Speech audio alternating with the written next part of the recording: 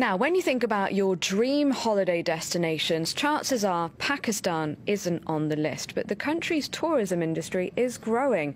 This despite ongoing security problems. More and more people ignoring government warnings not to travel there. Our team in Pakistan sent us this report.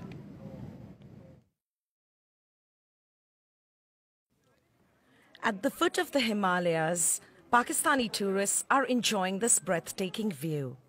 Few foreigners dare to venture this far inside a country that's ranked as the fourth most dangerous place in the world for tourists. But some are now starting to explore Pakistan. Um, yeah, can you please take my pictures? Okay, welcome, you're welcome, no problem. Lisa is from Finland and is visiting the northern areas of Pakistan for the first time. Far from the chaos of Pakistani cities, she enjoys the calm and mesmerizing landscapes on offer in this part of the country.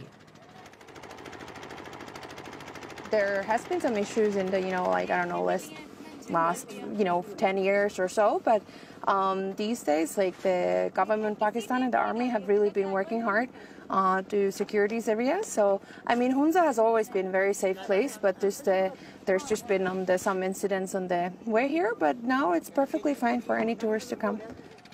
And Liza is not the only one.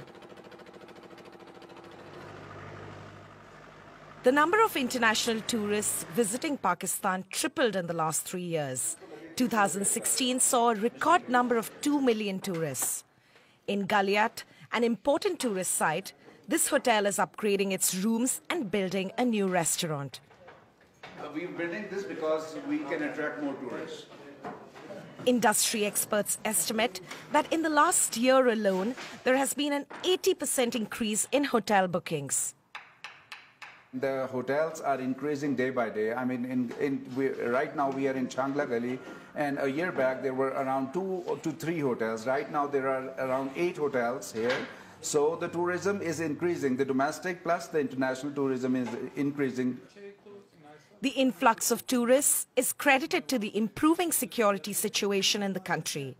In the last four years, the government has reconquered several Taliban-controlled areas.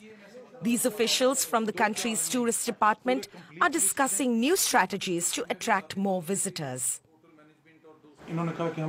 We're now taking help from a private company to train our employees and they will also organise events on our main tourist sites.